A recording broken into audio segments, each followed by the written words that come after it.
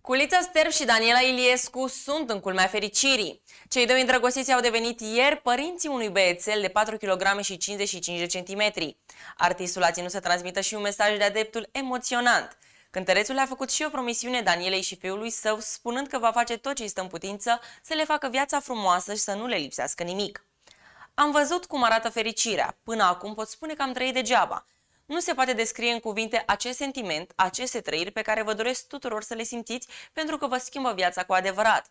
4 kg și 55 de centimetri, atât are fericirea noastră întruchipat într-un îngeraj de băiat pe care l-a adus pe lume cea mai frumoasă și cea mai iubită mămică din lume.